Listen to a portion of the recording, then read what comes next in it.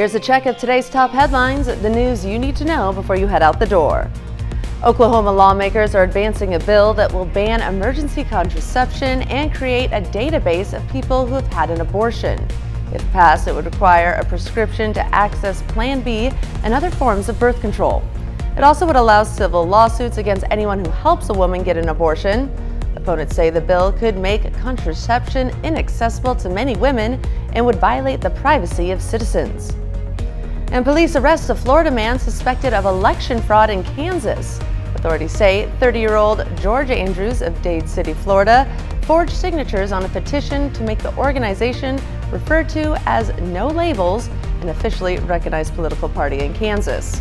Andrews is charged with two counts of election perjury and 28 counts of election forgery. He was arrested in Florida on February 10th and is awaiting extradition to Kansas. KOAM's Great American Flag Swap is back. Yesterday we held our first flag swap event of the year at the Roper Honda dealership in Joplin.